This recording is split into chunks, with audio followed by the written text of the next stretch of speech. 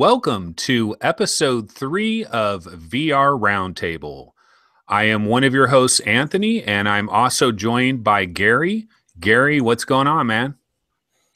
Uh, not too much, really. Um, a few problems with my Vive controller last week, but uh, I won't bore you with those at the moment. Maybe we, will let you know about that next time. But uh, we've got a lot to discuss this episode. So, uh, yeah. What, how about you? Your end? What what you got going on? Uh, not a hell of a lot. I I already have a half broken Vive controller, so I've been dealing with that. But just buying a new one, it's so expensive. So it's like, ugh, I, I might actually open it up and try to do a repair, even though it will kill the warranty. But I don't know because it tracks, but then every once in a while it just starts drifting.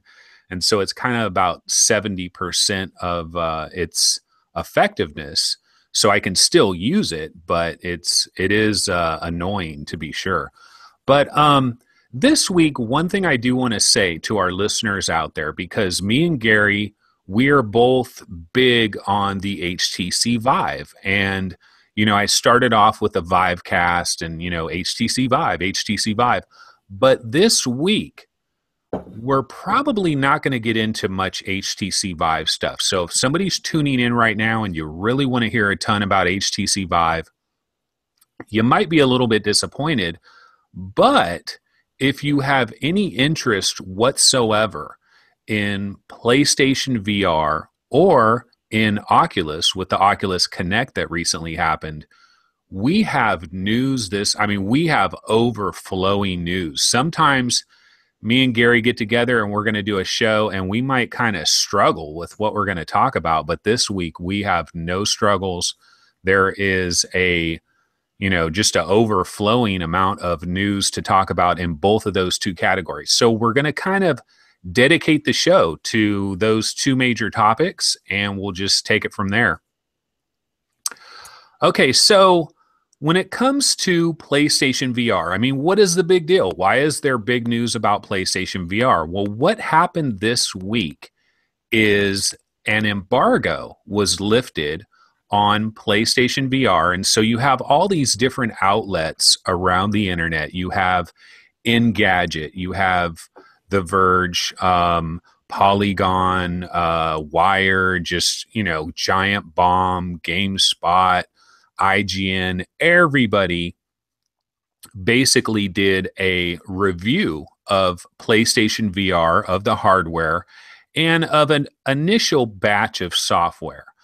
And um, these outlets have had their PSVRs for maybe two weeks, 10 days, or whatever. Sony started sending out the shipments to these uh, outlets. Of course, they didn't send one to me or you, you know, but um, we're a little too small for that right now, but maybe eventually they'll hook us up. But uh, but um, they've been sending it out to everybody, and so they've been trying it out, and then on a on a specific date, um, all hell broke loose, you know, and everybody started doing their live streams, and we had all the reviews, and there's a ton of ton of stuff to talk about with that.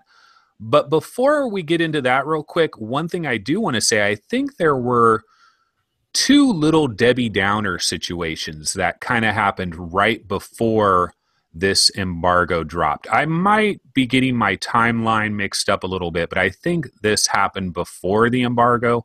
But I don't know if you heard about this, Gary, but one of the stories that came out was this story about HDR, high dynamic range, and the little PSVR breakout box. You know, you get a little one thing about PSVR, and we'll get into this, of course, is wires, wires everywhere. I mean, it's like, wow, all these things just have wires going everywhere. But there is a breakout box, and basically, the HDMI from your PS4 goes into the breakout box. And then there's an HDMI from the breakout box that goes to your TV. And then there's also one that I guess goes to the headset, of course. And the one that goes to your TV, what we found out is it cannot pass HDR. It can pass 4K, but it can't pass HDR. And okay. so the big hubbub about all of this is if you happen to be one of the the people out there that might be looking for the PS4 Pro. And if you have a 4K TV that does HDR, which not a lot of us have that, I actually have a 4K TV, but it doesn't do HDR. But if you did have that, this is going to be a major irritant basically it's going to be a it's going to be one of those things that's just like an annoyance you know because what you're going to have to do if you want to play um horizon zero dawn you know you're in february you want to play horizon zero dawn and you got hdr but you got your ps psvr all set up as well you actually are going to need to have like an extra little splitter um, or you're going to have to manually get up unplug a cable, plug a different cable because it doesn't do HDR, you know. So you will not get that. Did you hear about that story? I didn't know. I missed that one, and that completely passed me by. This is the first I'm hearing about it. Actually, it's an odd situation because um, if they're pushing the PS4 Pro and they've got this problem coming out just just now, just at the launch of uh, PlayStation VR, yeah, it's not it's not good for them, I guess. Again, I, I don't know if I'm absolutely 100 percent locked in with this timeline, but I really think that they kind of snuck these two little bugaboo situations out before the embargo. And then so then the next day it was the embargo. So all that kind of got buried. But there was a discussion on NeoGAF and some other different websites about all this HDR stuff. Now, for me personally, it's not going to be a problem for me because my TV doesn't have HDR. It will pass 4K, so I don't have to worry about it. But if I ever did get an HDR display, then I got to figure out, you know, am I going to use some little splitter thing? Uh, or am I just going to get up and keep swapping the HDMI cables every time I want to play a game on the TV? Um, so it's it's one of these annoyances. And one thing I'll say is like you would expect Sony I mean, come on, Sony makes 4K TVs. They, you know, they're all about HDR as a company. In fact, I recently was driving to work and I heard a commercial on the radio and it was about Sony TVs and they were talking about 4K and how everything will be so beautiful. And they're really into this 4K thing and you would think their engineers would be like, well, we got to make sure that it passes the HDR as well because we don't want people to have a major issue with this but yeah. somehow somewhere along the way the ball got dropped you know yeah i wonder what the difference in price would be for them to add that kind of connection onto the breakout box if it's significant price increase for some reason and you know this PlayStation VR has probably been in production for quite a while now to get the numbers that they need for the launch. So maybe it was something to do with the fact that they sort of set in stone the, the specification for the breakout box months and months ago. And it's only recently, really, we're hearing about all this this uh, news about HDR and everybody's jumping on this HDR bandwagon. But then again, on the other side of that, they must have been aware that they were bringing out the PS4 Pro, so which is primarily to do with all this HDR business. so um, yeah, it just seems like an odd decision for them not to support that. Yeah, it's kind of weird. Sony is a hardware company, and I remember back to the days of the PlayStation 3. I had a 1080i TV back in the PlayStation 3 days. And I don't know if you remember this, but the PlayStation 3, they didn't have a scaler. There wasn't a chip in there that would scale. It wouldn't take 720p and scale it to 1080i. So if you had one of these TVs, this is a long time ago, but if you had one of these TVs that did 480p and 1080i, but it didn't do 720p, you were kind of boned and it really sucked. I remember those early days because there would be 720p games and I'd be like, damn, I can't play it on my 10, you know, it looks like crap. And Sony, once again, it's a hardware company. They got engineers coming out of their ears.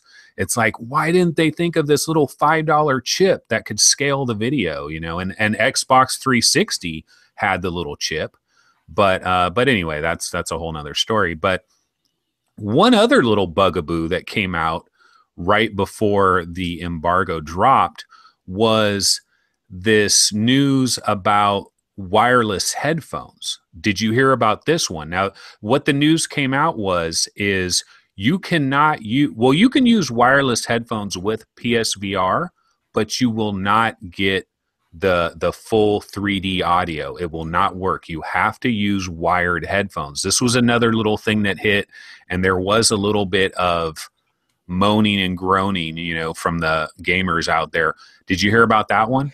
Yeah, I did hear about this one, and I guess it comes from the fact that the the wireless um, headsets they're going to be connected to the PS4 directly through some kind of USB dongle, and in order to get the 3D audio, it has to really go through the PSVR system in some way um, in order to so it's getting the position of your head and, and things like that. But yeah, I, I, did hear about this, and I, I, it doesn't. I mean, I don't think that's it's not a major issue. I guess for some people who were expecting to use headphones like these with it, um, it could be a problem. Yeah. Yeah, I saw your headphones there, and I'm like, I'm pretty sure Gary uses wire wireless headphones and there's people out there that have like $200 headphones you know and they're wireless and they use them for everything and so for those people this is a bit of a debbie downer but you know it's not the end of the world uh, for me i normally use wired headphones now these headphones here these sennheiser ones i have like a super long cord but what i did was when i got my vive I ordered this like super short cord that is really short and then it just connects to the Vive. And so I don't have a long cord dangling everywhere. So I'm hoping I can do the exact same thing with PSVR because you do get this little, there's a little white, you know, remote thing that does the power and the volume and stuff like that. So you do have that right there. Yeah. Uh, so anyway, these were two little things that kind of leaked out before we even had the embargo uh, lifted, and it's kind of like Sony snuck those two little things out, and then it got buried in an avalanche of PSVR reviews. So we don't hear too much about it, but I just wanted to mention them real quick. Yeah, no, it's uh, yeah, it's good to hear about that first one because that completely passed me by. So um, yeah, it's good to know know about that and strange situation, but yeah. Yeah. So, okay. So now let's get on to the embargo. So the embargo was lifted, and around the internet, all the reviews started bombarding the airwaves. And it's really interesting to see how the reviews are wildly, you know, going in different directions. Um, the general take that I got was most of the outlets would like Engadget and Wired and, and places like that, they would kind of say, well, you know, the tracking is a little bit iffy, but overall, the overall tone of their review was this is a great thing. You know, PSVR is going to be huge because this is this low cost item. It's targeting everybody that has a PlayStation 4, and there's like 45 million people out there that have one. Uh, so they look at it as a beautiful thing for VR in general because it's kind of VR for the masses. It's lower cost and it's pretty good. You know, there there are some issues, but it's pretty good. So that was kind of the general vibe out there. Did you kind of get the same thing? Absolutely, yeah. I think most people i mean i watched quite a few reviews on youtube and read a few reviews as well and pretty much the, the general consensus is that it's it's probably on the lower end of the uh, the big three VR in terms of the technology av- available to it, but it seems like everybody's pretty happy with it overall. And there's a few problems that pretty much all the, all the outlets are mentioning, and I'm sure we'll get into those as well. But I'd say that. Um, there was a few things that, that, that stood out. I mean, I don't know if you saw the Giant Bomb live stream um, yeah, now that one, man, that's where everything goes off the rails. It's because, you know, so we see, because I didn't see the giant, I saw like, I think I saw Engadget's review and then I saw like The Verge's review. And then I, I saw a couple different reviews and then I saw the Giant Bomb live stream. So it really shocked me how things went with the Giant Bomb live stream. I mean, it was the Giant Bomb live stream was Sony's worst possible nightmare coming true right before like I don't think Oculus or HTC, I mean, not that they're rooting against PSVR. Really, they shouldn't be. We we all need PSVR to be successful. And but if you were somebody that hates VR, oh my God, happy birthday to you! Because this Giant Bomb live stream was about the worst possible scenario. It was, yeah. I was in there at the uh, while it was all going on. And you know they've got the chat room going on at the same time as well.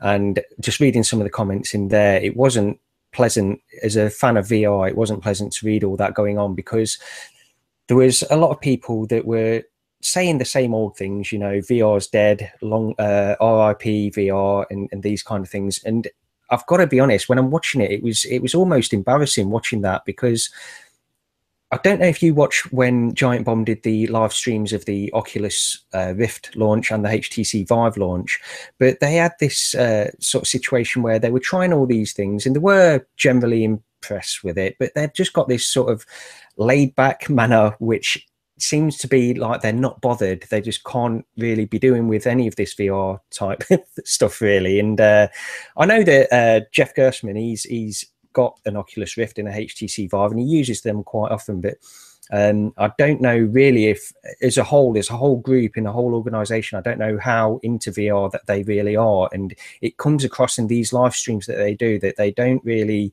Um, I, I, don't know. May, maybe they, they do like VR and they are really into it, but their their mannerisms just seem to say that they're bored when they're using it, and it, that's no good for for it at all, really.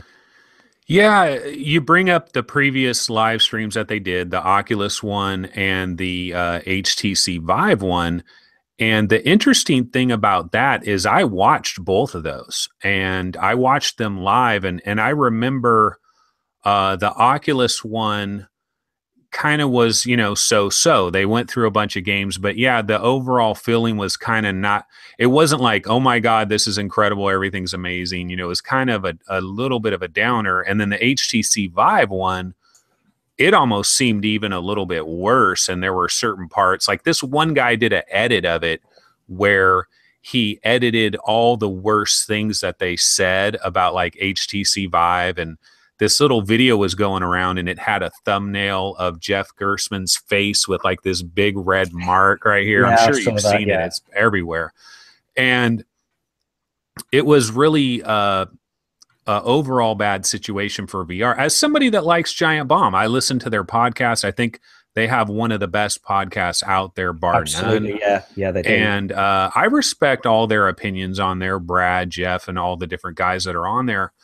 But um, yeah, it wasn't a good look for VR. And then what happened here with PSVR, it was like, well, yeah, you kind of remember back to their other live streams, and it's like, I don't know what's going on, but they they have a lot of bad luck, it seems, with VR. Maybe it's the studio, it's it's reflections, it's lights. I don't know what it is, but when this giant bomb situation happened with PlayStation VR, you literally had people that were like, "Oh, I'm canceling my pre-order." You know, I'm canceling my yeah. pre-order. I mean, you would hear people over and over and in the live stream you heard it in the chat. And then when you went to like NeoGAF or whatever forum you go to, anybody that saw that giant bomb live stream, a lot of them were like, I just canceled my pre-order. I just did it you know and, and i'm watching all of this stuff live and i'm like god damn what's going yeah. on here? Well you see these um with that particular live stream i don't know how many other outlets were doing a live stream like that. That was the only one of that type that i saw. And it, it makes you wonder if if everybody that was giving it uh, the psvr um, reasonable to good reviews, if they were having the same problems that Giant Bomb were having, I can't see them giving it that kind of a, a uh, review really because they were having terrible problems i mean it was it was absolutely unbelievable really and you know I know that some of the others, like the kind of funny guys, they were mentioning. Um, I think it was them. Actually, it might have been tested. Thinking about it, but they were saying how um, the headset, if you're, it can sometimes drift off slightly, which um, obviously, I mean, it doesn't really happen on the Vive at least to when I've been using it.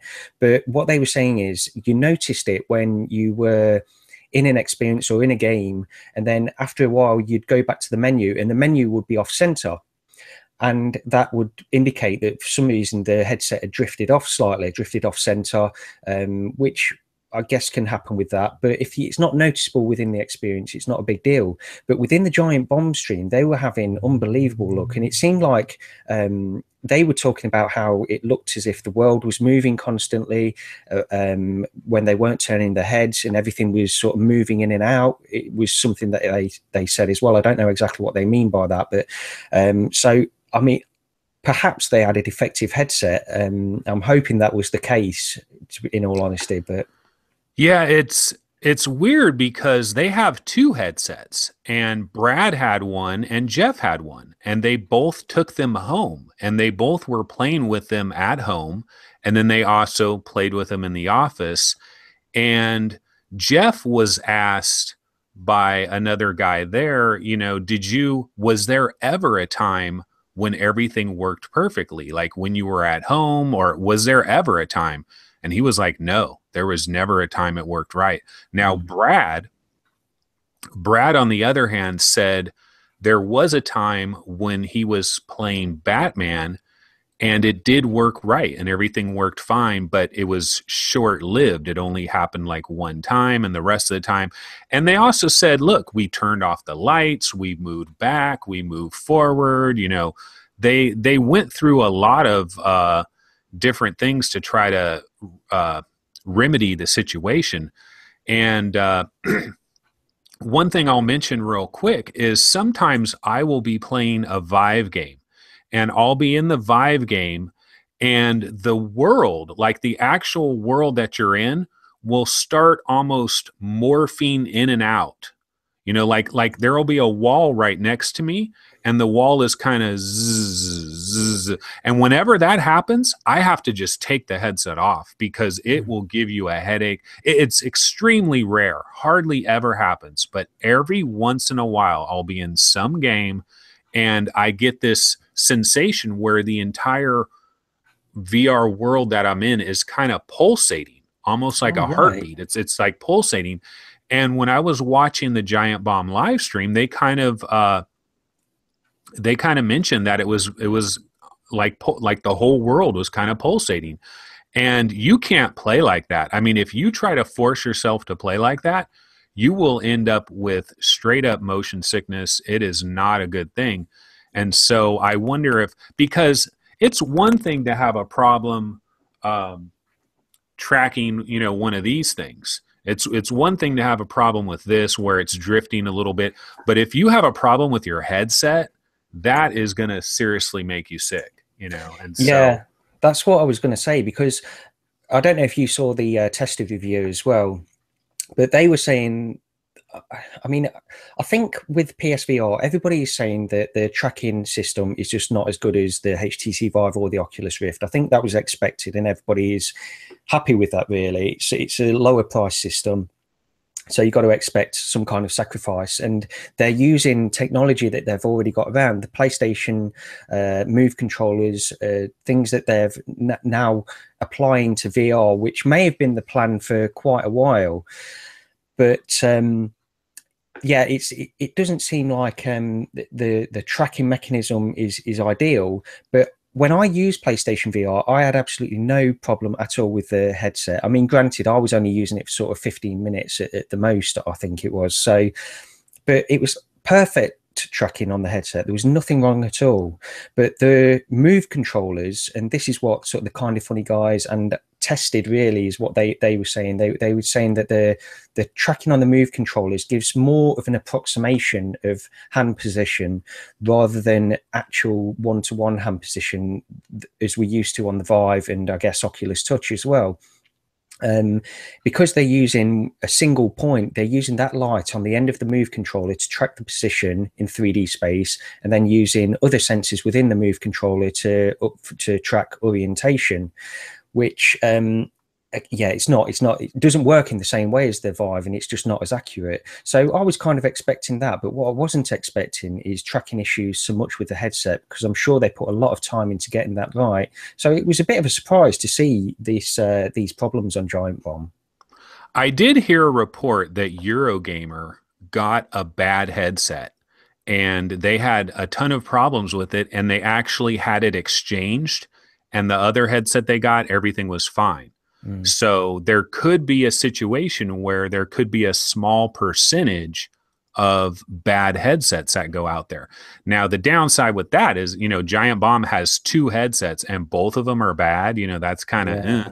and then i don't know if you heard this other little tidbit of news that recently came out now this is here in the usa but Best Buy sent out an email to everybody that pre-ordered the PSVR and the email basically said that we're they were altering their return policy for PSVR where if you open it up you can't return it. Um so it was like oh man is everything falling apart? You know what's like are they starting to panic? You know what's going on here? So that was weird. But um one other thing I want to mention. Okay, so myself personally, before all of these, all of this information hit, like if you go back a week, I was super hyped for PSVR and I totally planned on buying a PSVR. Um, I was going to get PS4 Pro because I don't have a PS4 right now. So I was going to try to get PSVR when it launches and then just kind of sit on it and wait for PS4 Pro, maybe borrow a buddy's uh, PS4 for a weekend or something just to kind of screw around with it. But um, the thing that I saw that really scared the daylights out of me is GameSpot. GameSpot did a little live stream where they had this one guy. He was playing uh, Rush of Blood. You know that one where it's like a roller coaster and it's kind of like a haunted house and you yep. see all this weird stuff. Okay, they had one guy playing that, and in the beginning of him playing it, he's holding two guns. Okay, like you're standing up and he's holding two guns, and on the video, the guns are like this. Yeah, yeah. The, the whole time, the guns are like like shaking constantly.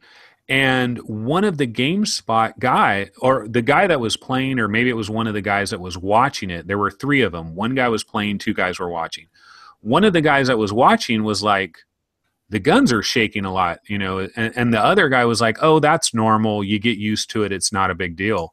And I was like, what? you get used to that?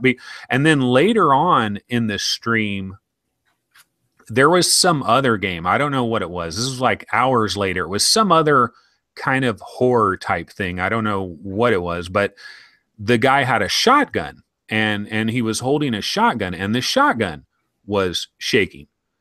And I can tell you, as somebody that owns the Vive, um, when you hold a gun in Brookhaven or you hold a knife or, or whatever game you're playing, it's pretty freaking rock solid. And every once in a while, like if you do have a problem with your tracking, like my one controller that's kind of screwed up, it, it does get a little wobbly and, and stuff, and it's irritating. And I can tell you right now, if I buy a PSVR and if I get it home and I'm playing games and every single item I'm holding in my hand is shaking like I'm on heroin or something, I'm not going to be able to deal with that. You know, I, I got to be able to return this damn thing. So I'm I'm at, I'm in a situation right now where I don't even know, man. I don't know what I should do because I really want to support PSVR. I believe in VR and I believe that if PSVR what turns out to be a total dud, oh my god, it's going to set us back like 2 years. But if PSVR is a hit, it's going to set us forward, you know, and it's going to just snowball. You know, it's a snowball effect either way you go and I really want to support it, but the shaking is like got me scared to death. Yeah, I think we've been maybe a little bit spoiled with the tracking method on the HTC Vive because it is absolutely exceptional, but you pay for that. You you pay a premium for for that level of tracking, and the PlayStation VR has got a lot of things going for it the tracking is something that it's definitely got a problem with um, coming from the HTC Vive. But you know, a lot of people that are going to be getting the PlayStation VR, it might be their first VR experience, and they might be perfectly happy with that kind of uh, just the slight wobbling of the controllers and things like that. It depends how bad it is, I, I suppose. I've not used the Move controllers in PlayStation VR, so I don't know. But if it's um, to the level that, that it can pass by and people can still be immersed in the experiences, then it'll be fine. And you know they they know people know that this is not the the premium level vr as long as it can get to the point where people are happy with it and they can show it off to their friends and show it off to the family and it, it's it's good enough to to do that. In fact there was a, an article um, a few people have mentioned this on a few podcasts that i listened to actually but they were saying that I think it was written by a guy called uh, Jeremy Parish. I don't know if you know. Uh, oh yeah, yeah, yeah he uh, he was saying that Nintendo have a history of doing uh, hardware which is good enough. It's not exceptional. It's not the cutting edge like the Nintendo Game Boy and things like that. It's it's good enough hardware, and people take to that kind of hardware. And this is the thing that people have been applying. Uh, sort of quoting Jeremy Parish on this, applying it to PlayStation VR. If it can get to the point where it's good enough, which hopefully it is, then people will adopt it and and, and take to it, and it, it will take off.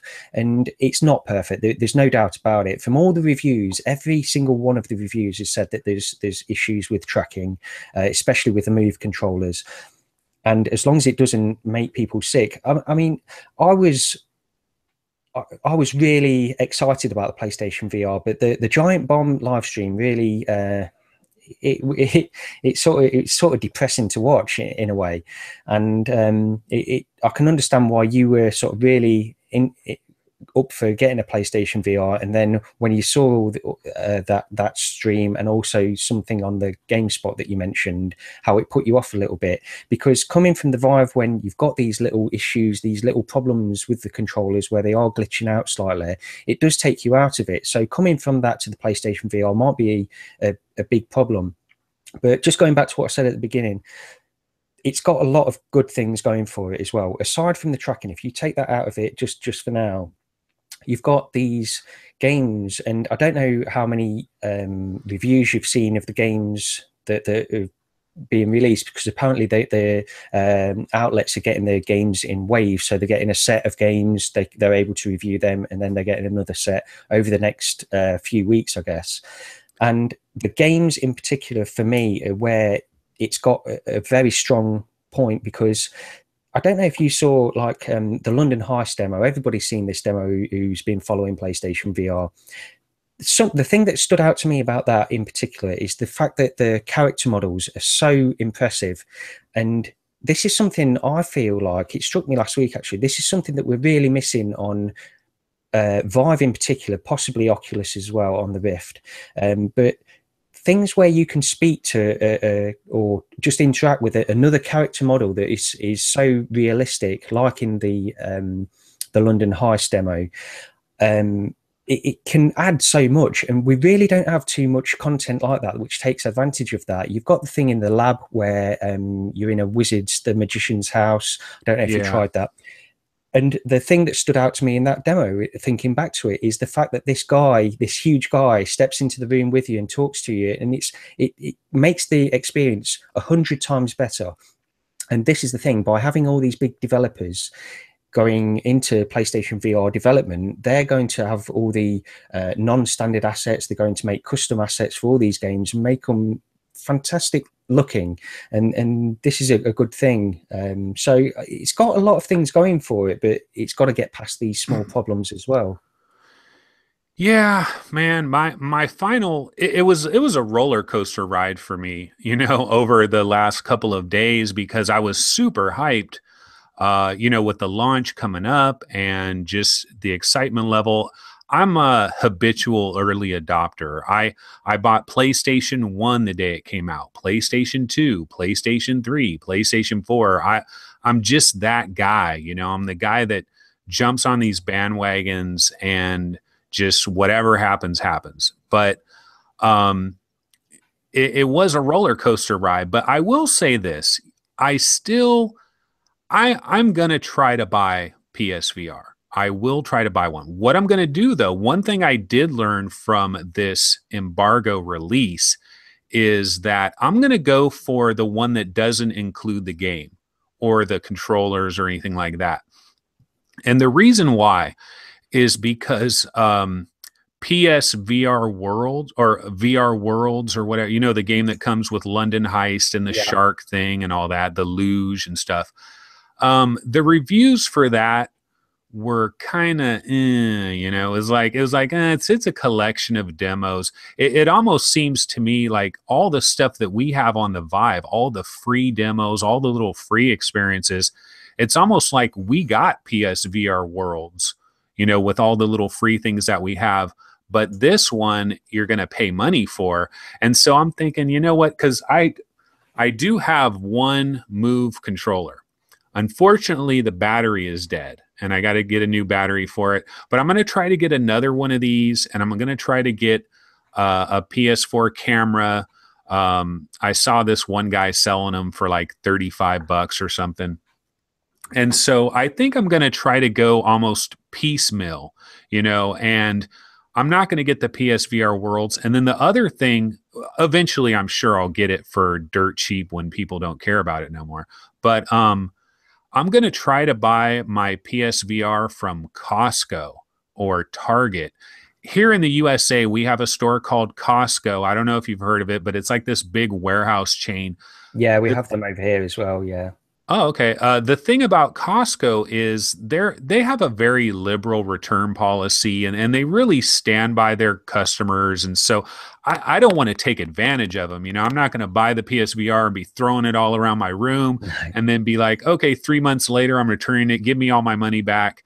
It was fun to rent it. You know, I, I don't want to do that. That's bad karma. You don't want to do that. But but I really would like to have the peace of mind that if I get this thing home and I do everything I can to try to get it set up right and I try to have the distance right and I'm and I'm having problems, you know what? I mean, it is what it is. I might have to let the thing go. Now, I will go out of my way to try to get the thing working right.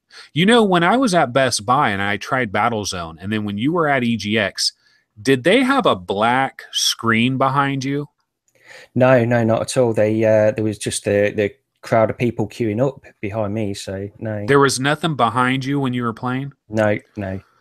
Okay, because when I played Battlezone, I think they had uh, a thing behind me that was like like a black curtain, and I, I was sitting in front, and I was playing Battlezone, and I had my headset, but behind me, I think they had a. So there could be little tricks that you can do to try to get more precise tracking, and I'm sure people will figure it out uh, of like you know sit exactly this this far back and make sure your camera is exactly at this height and make sure there isn't a window. It's going to be a pain in the ass but oh well I'll, I'll figure it out. Yeah yeah. But basically just to close this psvr discussion um i'm still going to try to support it you know? I, i'm still going to try to support it but but i'll tell you what uh, i'm going into it with cautious optimism. You know what I mean? I'm very much, I guess one of the good things is about all this is people are not going to go into it thinking it's going to be the best thing in the world. They've had their expectations clipped a little bit. So that might be kind of good from that standpoint. Yeah, yeah, it's certainly um, because a lot of the the um, the PlayStation VR coverage that we've seen over the last few days, it's been generally positive. I'd say. I think most people are impressed with it, but then again, they're they're sort of realistically impressed, if you know what I mean. They're they're they're sort of saying it's good, and I think a lot of people are going to enjoy it. But you've got to temper your expectations in terms, especially in terms of the tracking and and things like that. But overall, I'm I think I don't think you're going to regret getting it. At least I hope you won't, because the content could elevate it up to a point where the tracking might not matter so much, and you've got these other experiences that use the Move controller. Uh, sorry, the uh, the standard uh, DualShock controller, so you can use that. And if that doesn't necessarily need to be tracked in 3D space, you might find some some kind of things. Like the thing is, I mean, it's not it's not really a room scale in the same way that the HTC Vive is. So it's a different experience, and the the games that and experiences that are coming out are going to be uh, measured to fit that that kind of uh, setup, really. Alrighty, well, we spent a pretty good amount of time there on PSVR, so Um, as you said earlier, this situation that we're in, it's a three horse race. You know, you got HTC and Valve, you've got Sony with PSVR, and then of course we have Facebook and Oculus with the Rift. And there was a huge uh, deal that happened this week with Oculus Connect. I, Thursday, right? I think it was Thursday that it happened. I think so, yeah. And um, I actually happened to watch this. I had a medical appointment that I had to go to that day, and I was um, at home getting ready to go to my medical appointment, and I happened to tune in. I was like, oh, yeah, that Oculus thing. So I actually watched the majority of this and I was truly impressed by what I saw. I was wondering what what your feelings were. Yeah, I didn't see any of it live, but I caught all the videos on YouTube as they were they were posted, and all the news that was coming out. It was being posted on Reddit as well. I was trying to keep up with all that, but there was it was impressive. I've got to be honest. I think this was uh, a big deal. To be honest, there were certain things that were shown off and certain things that were announced there that uh, looked fantastic. Really, um, I mean, I guess going from the start, just the the smaller things. They they had the uh, the price for the touch controllers, which is pretty much in the ballpark of what most people were expecting. I think there were a few leaks uh, a couple of weeks ago about the uh, the prices and. Yeah, one hundred and ninety nine dollars for the uh, touch, and you get an extra sensor in in with that as well. Um, and they were saying, I guess we can move on move on to the point that, that we're saying with this as well to do with the uh, room scale. I don't know. Well, I guess you saw all of it anyway, but they were talking about you can then purchase a third sensor to get full a, a full room scale experience.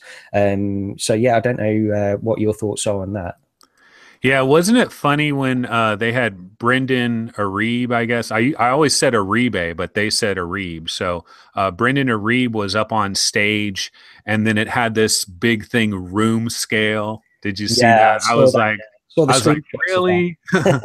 there, because I've always I've said this over and over again that it was always my impression that Facebook was scared to death of room scale from potential litigation. You know, somebody.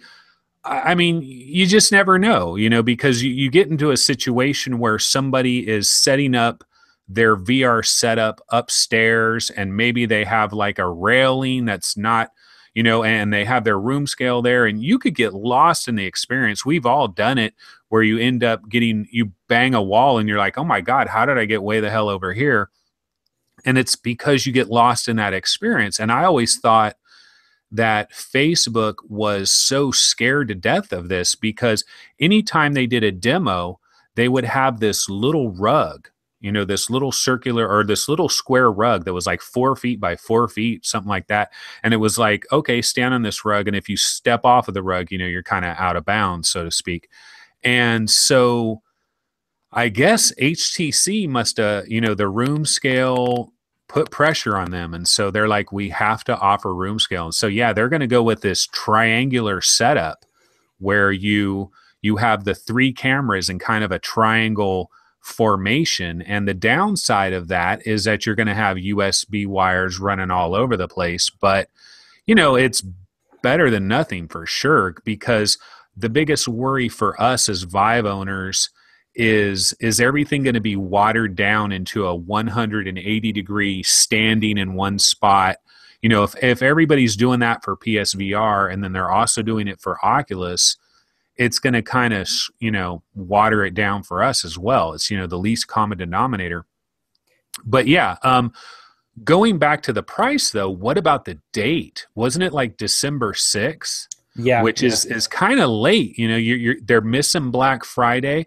And then all these games that are touch games they all have to wait for that you know? And some of these touch games that aren't exclusive but they they probably signed a contract with Oculus where they can't release their game on Steam until it's also available on the Oculus store.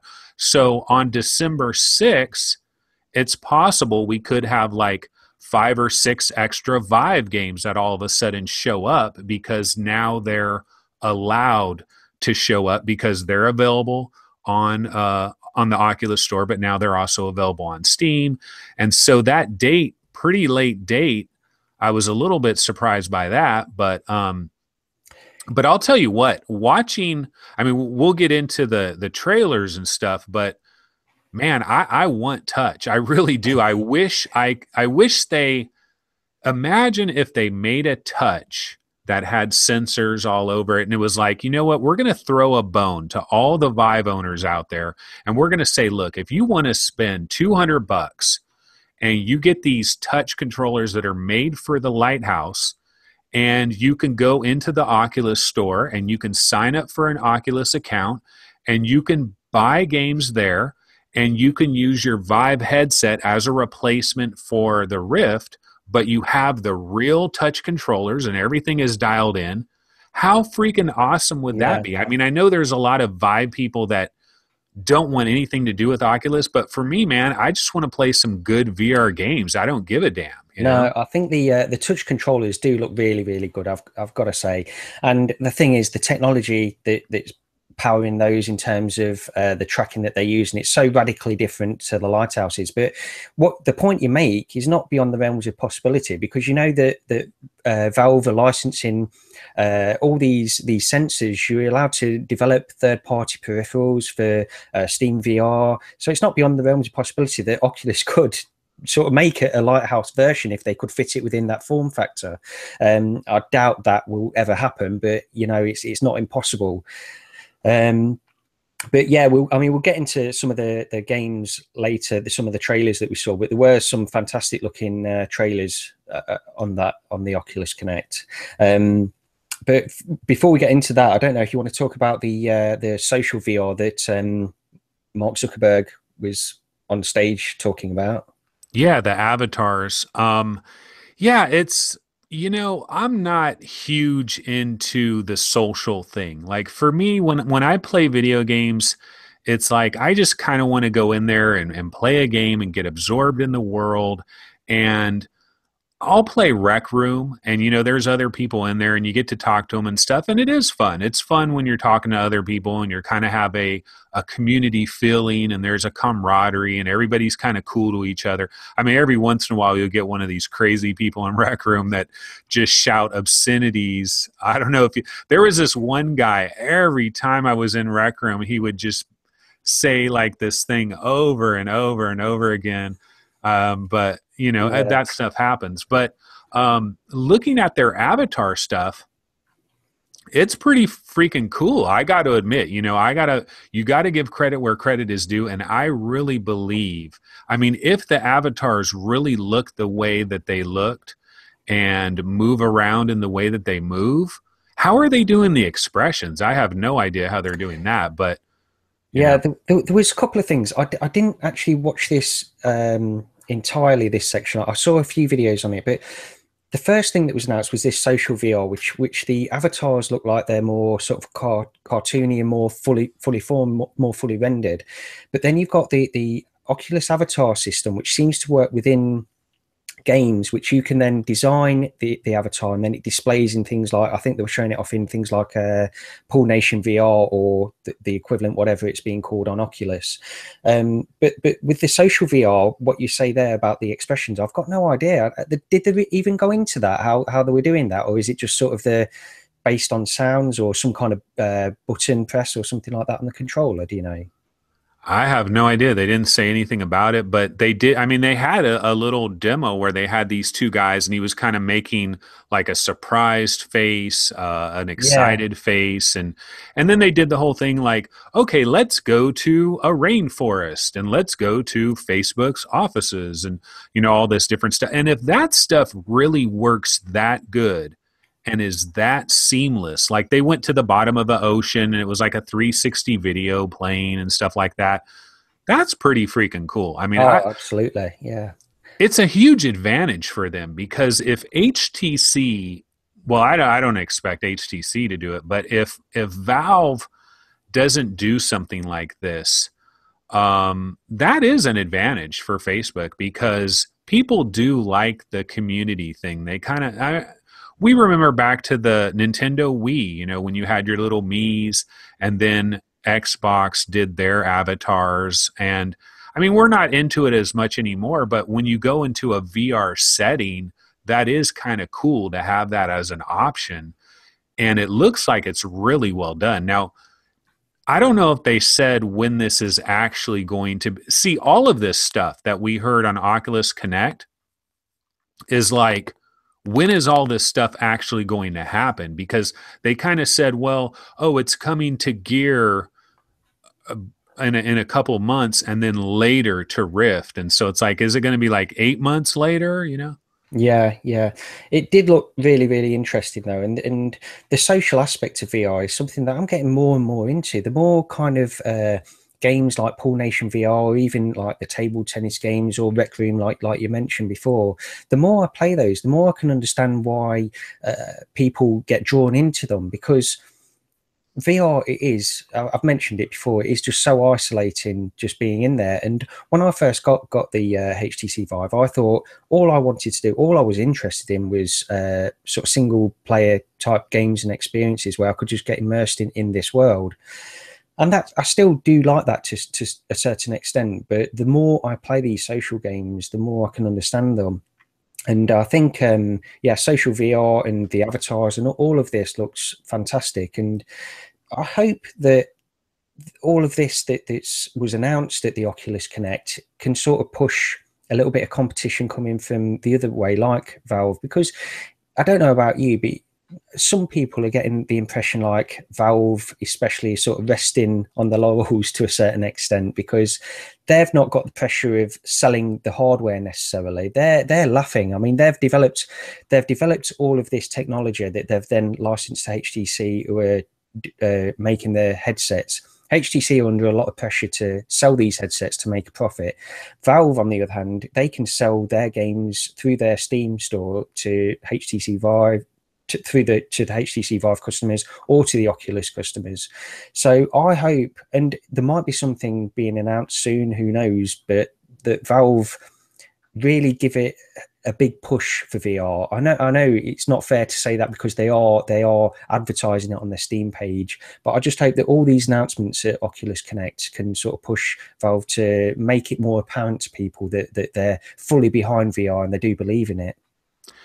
Yeah, one of the interesting things I noticed was right after all this Oculus Connect, right after all this announcements hit, if you went to the Vive subreddit, there were a lot of threads, you know, that really blew up like, come on, HTC, what are you doing? And and like other people were saying, like, I'm kind of getting irritated that we're not getting any big budget, you know, blah blah blah. You saw all these different yeah. threads and the first thing that popped into my head is that you guys are in for a rude awakening because I'm sorry, um, HTC does not have this money. Okay. They just don't. And then Valve, like you're saying, Valve doesn't really have a horse in this race. Valve just wants to continue to sell games to everybody. That's all they care about.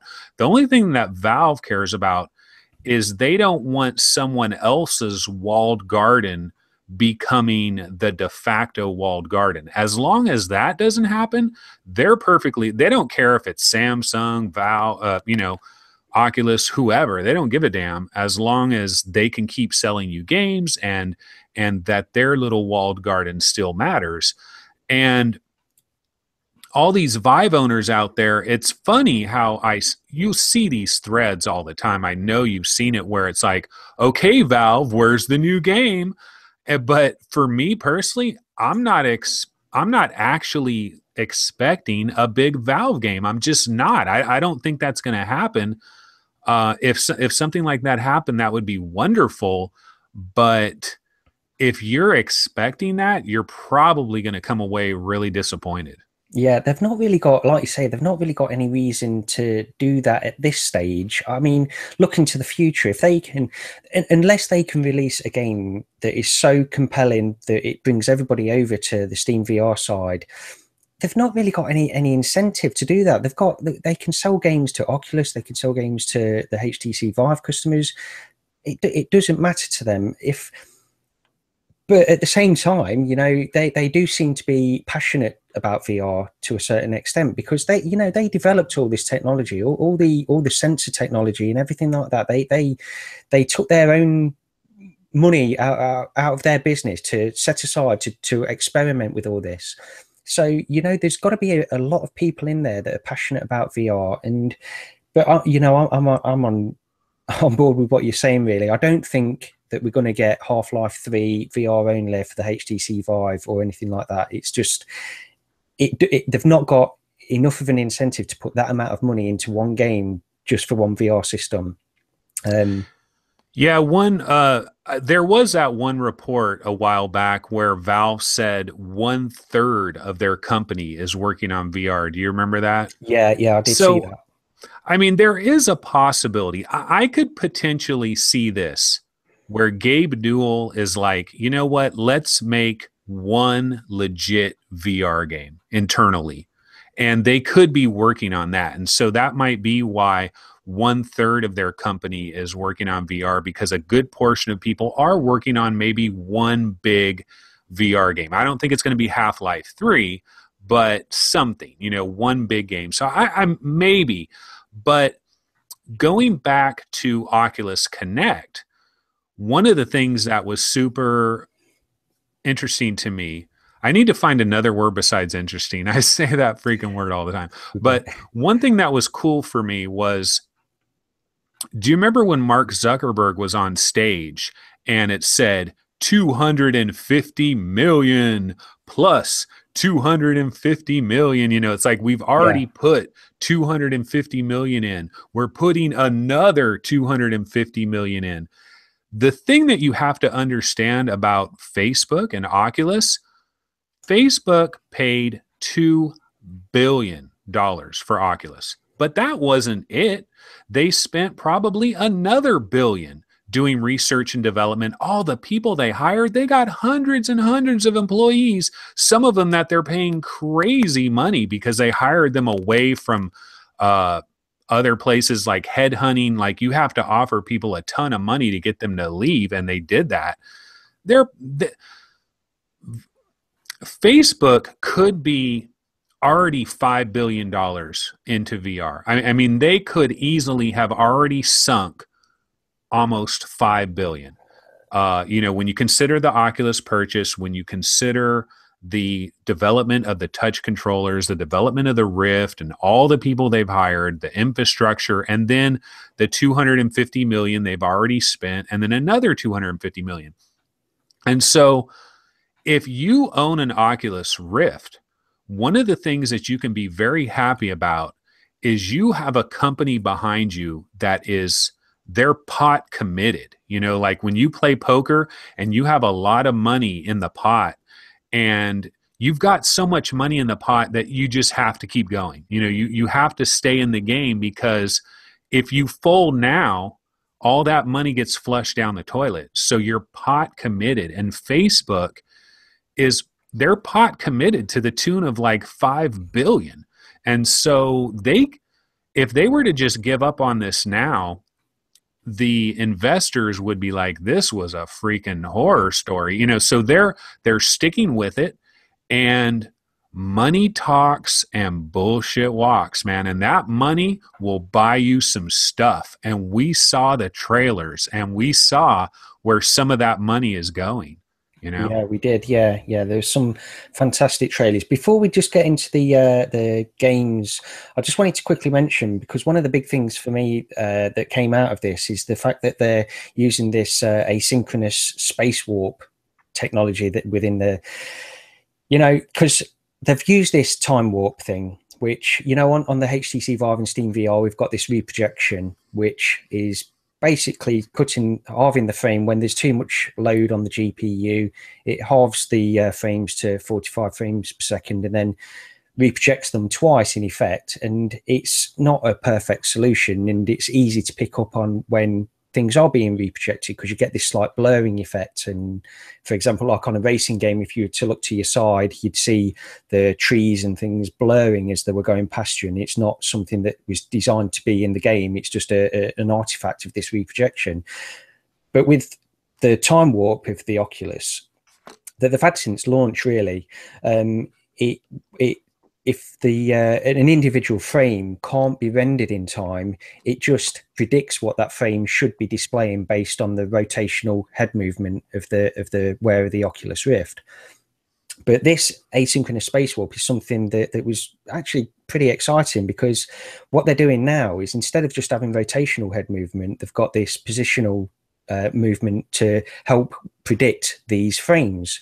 And in effect, what that does is you can, they're so confident in it that you can now have a, they can run games in almost permanent 45 frames per second and fill in the blank frames uh, with just this uh, estimation of what the frame should be showing based on both rotation of the headset and the position in 3D space of where the headset is.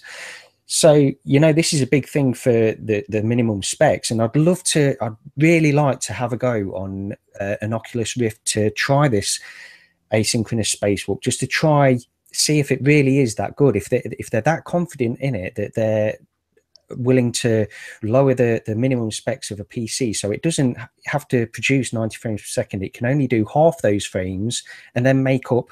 It's almost like fake frames in between, really. Um, that are just estimations of what the frame should be showing, but it's it's close enough that people probably won't even notice. And I'm hoping that's the case because if we could get some kind of technology like that into VR and bring all these minimum specs right down because you know you've got the PlayStation VR which has lowered the price of virtual reality quite quite heavily and with Oculus announcing this, if it works as well as they're saying, which I hope it does, then they've, they've lowered the prices again. Event, the point of entry is much lower. Yeah, they they announced that there's a four hundred and ninety nine dollar PC now that they've worked together with the async uh, the space warp or whatever blast processing of the year 2016 if we remember blast processing yeah. way back on the sega genesis whenever I hear these weird terms, I always kind of wonder, you know, how much of this is reality and then how much of this is marketing bullshit. But I mean, if they're going to say, look, you can buy this $499 PC. And I think uh, a GTX 960 was kind of like their their min spec uh, GPU, and then the CPU was like a i3 Intel i3. If that's really true, that's really cool because for those of us that maybe have a little bit higher end PCs, maybe we can run our games, you know. I mean, some of those games they showed looked graphically intense. And so if those games can run better, uh, because they're taking advantage of these fallback uh, insurances basically for the frame rate and all of that that would be awesome. And and of course on Reddit, of course, in the Vive subreddit, you also have these threads. Okay, Valve, where's your space warp? You know, everybody's going to do that. Now, one thing I will say is Valve, I actually expect them to figure this out. I really do. This is some this is one of the things that they probably saw in this conference where they're like, "Okay, we need to work on that." Yeah, yeah. Well, you know, the, the PlayStation VR actually uses something very similar to this. It's almost, I mean, from my understanding, it's almost an identical thing that is in the PlayStation VR because they can uh, render a game at 60 frames per second and then the headset will reproject. It's not, I don't want to use that word, but it's reproject it to 120 hertz so they're filling in exactly the same as this uh, asynchronous space warp. They're, they're, they're filling in all those blank frames in between. Every other frame is a frame that's just being interpreted based on the last frame and the detection of, of what what the headset has done since then. So it's almost like it's just sort of bending the frame to fill in the blanks. And it's so if, if those two companies are both using similar technology, and it does seem like I understand what, what you're saying about how how much of this is reality and how much of it is just sort of marketing bullshit. It's difficult to say really, but the, from the way they explained it, it does seem like it could it could work, um, and you know it, will live and die by the results it gets on these lower end PCs. Um, when does all of this stuff happen though it's like okay you can make all these great announcements but when do they actually happen you know so it's like I mean, maybe they they mentioned it, but I, I don't remember off the top of my head. But you you always hear all these great announcements, but then it's like, okay, what day is this actually going to happen so we can see if this is actually true? But hey, I'm I'm hopeful. You know, uh, it's great for everybody if we can lower the cost of entry at, uh, for a high quality VR experience. Yeah, yeah. I think it, with that one in particular, the um, some people were mentioning about how the uh, asynchronous spacewarp can actually be activated manually now um, so you can sort of give it give it a try if you follow a certain set of rules you have to actually edit the registry in the computer and, and things like that so it's hmm. not straightforward but people i think there are a couple of videos of people on uh, youtube that have tried this already so um, I mean, time will tell how good it is. And you know, with Steam VR, reprojection is a solution that is as basic as you can really get from my understanding. But it works well enough for now. And like you say, I'm sure Valve will, will jump on board with some kind of similar technology. It, it, might be there might be other things at play here as well as to why they've they've not done that. Or I think actually I, I read something on uh, Reddit saying. Uh, a quote from somebody at Valve who was saying that they don't want to lower it down to the point where 45 frames per second becomes acceptable. They want to constantly push for 90 frames per second because if you allow this uh, 45 frames per second thing become the norm, then people will just be bringing out more and more graphics and you know you'll then be pushing up the, the, the specs again of the pc so uh, i guess you, you never know what to believe really but that that's just something worth mentioning. Yeah it i mean it sounds cool. I, I can't wait to see all this stuff yeah, yeah. Um, I just, I don't know if you just want to talk quickly about a couple of the uh, trailers that we saw at the Oculus Connect as well. Yeah, I, well, there were three games that really stood out to me. the The one that blew me away the most, and I don't know if it was the same for you, but Epic Games had a game called Robot Recall. Maybe was it Robot Recall? Ro- Robo Recall, I think. Robo Recall. Yeah, yeah okay, when I was watching this trailer, um, you know how you'll see a trailer for a movie or you'll see a trailer for a game and it just hits you in that perfect way and, and you almost get like a tingly sensation. You almost get like goosebumps and you're like, you're like, oh my God, this is this is exactly the type of thing I've been looking for. And dude, that trailer was just so awesome. There was comedy, um, the voice of the robots, the little things they were saying, and just it's so arcade like. I mean, it's a straight up, it's almost like an arcade game from like 96 mixed with VR. And it, it looks kind of like a wave shooter, basically, but you got these huge, giant skyscrapers. And we're talking about Epic Games. Epic Games knows how to use their own engine. You know what I mean? And you know that 250 million that we were talking about. I guarantee you this is this is a piece of it. You know, this is a piece of it because this game they said it's going to be free to yeah, everybody that, that yeah. it's going to be free. So maybe they'll have like little microtransactions and stuff to try to make some extra money off of it. But I'm kind of guessing Oculus went to Epic and said, "Look, you know, here's 50 mil, you know, here's 50 mil, deliver us something that will blow people the hell away. And it's like, you know, in the showdown, uh, like you grab the bullet in in midair and you throw it back. Yeah. I mean, just dude, what did you think when you saw that trailer? Yeah, it does look. Uh, it reminded me a little bit of actually another game that I'm going to mention here. Reminded me in different ways of uh, raw data because this Robo Recall looked a little bit like raw data, sort of ramped up beyond belief. It was just absolutely crazy what you could do because you can actually disassemble all these robots in front of you. You, you can grab different parts and rip them apart and throw them up in the air and then shoot them while they're in the air. And this has actually come from the, um, I don't know if you know, it came from the Bullet Train demo that Epic Games. I think this is the one that came from that. They they've just sort of taken what they did in that and then expanded it and made this full game out of it. And I couldn't believe it when they were said they were going to be doing this for free. Um, and like I say, it might have microtransactions and things like that in, but yeah, it looked uh, the production values on this just looked through the roof, really. Yeah, it it really looked awesome, and it was one of those I saw that video and then I started thinking, oh my God, am I going to have to buy another freaking headset?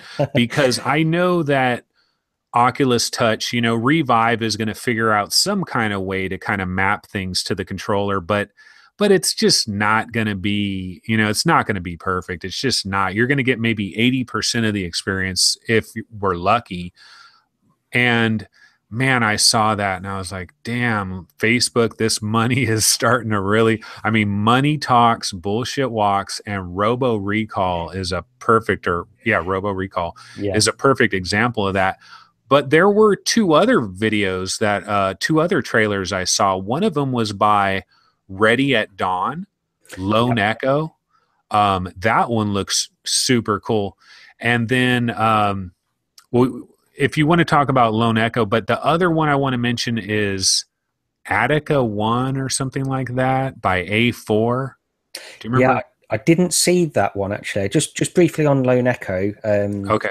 But yeah, the, the Ready at Dawn um, people who made made this, and yeah, it, it does look absolutely fantastic. They, they tested guys. Um, Norm was banging on about how fantastic this was. This was sort of game of the show uh, for those guys, and it looked, it did look really, really good. And and again, something on this production values again is. Um, a point I want to make about the character models because so realistic, unbelievable. You don't see character models like that in, in virtual reality games very often. And, in, in that trailer, you really did see some fantastic graphics, and it all helps with immersion. So uh, they shouldn't be dismissed, really. The, these uh, character models and the amount of effort that these these guys have put into making the game look good. But uh, no, I didn't hear about that other game. Why don't you tell us about that? Oh man, okay. I don't. Un- unfortunately, I was going to try to take notes and have everything, you know listed out and everything, but I, I ran out of time. But there was a game, it was like Attica One or something like that. It was something like that. And it's by a company, I believe they're called A4 or 4A or something like that. And this trailer, you wanted to, oh, it's made by the people that made Metro 2033, you know, oh, okay, like yeah. Metro Last Light and that stuff. Um, but the trailer for this one, Oh, dude, you want to talk about graphics? The graphics in this trailer were beyond beyond i mean it showed like a table right? And it showed the guy's hand like picking up a gun and putting little pieces. I mean it looked like real life. I was like oh my god i mean if it if it really looks anything like that wow that shit. I mean, that like that game, if it really looks like that, I might have to somehow get my hands on a on a Rift somehow because oh, you've got to see that trailer. I, I like the Robo Recall, the one because it was just it was hilarious. The graphics were great. It just had such a good feel to it. It was it was just so cool, but but pure graphical power. Like for me, I love I love being immersed in a world where you just forget about everything, you know, and you're just you're in that world and you just get so lost in it and you really feel like you're there and you feel like you're in a major action movie like a sci-fi thriller.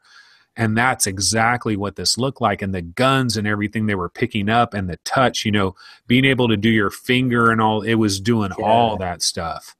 Oh man yeah, that's something that, that does look really uh, good. All this uh, gesture control on the touch controllers as well it does look uh, like I well, I'd, I'd, I'd, love to have a go on a Rift with touch controllers. And you know, I think a lot of people are. It's made the Oculus Rift a lot more compelling now that, that they're showing off all this uh, stuff with the touch controllers.